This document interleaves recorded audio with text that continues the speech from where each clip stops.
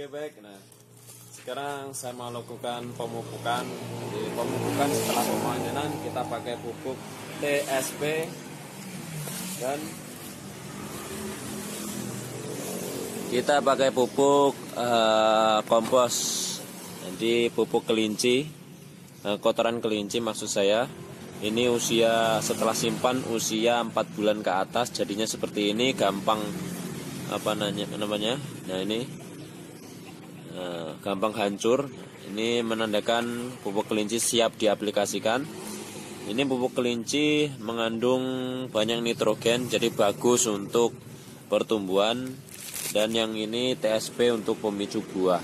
Nah ini dua dua pupuk ini kita lakukan, kita aplikasikan setelah pemanenan. Nah, seperti ini.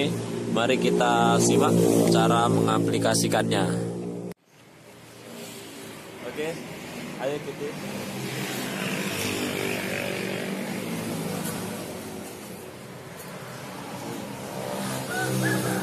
Ini sudah saya siram ya, sudah saya siram.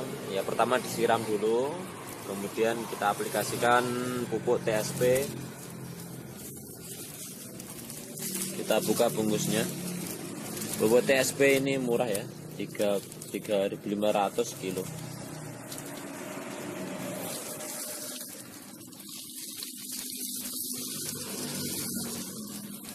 Ini satu kilo jadi kalau tanaman usia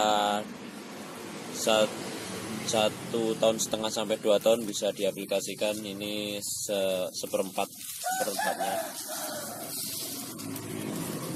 Nah ini biasanya jadi habis pemanenan saya lakukan seperti ini. Bisa dengan NPK Bonska dicampur dengan NPK Ponska dan KCL bisa dengan TSP dan pupuk e, kompos saja.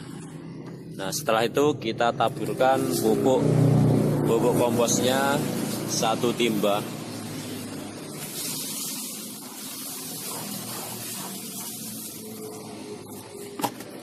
Ini nggak apa-apa takarannya seperti ini karena pohonnya sudah usia produktif sudah dua tahun. Hampir dua tahun.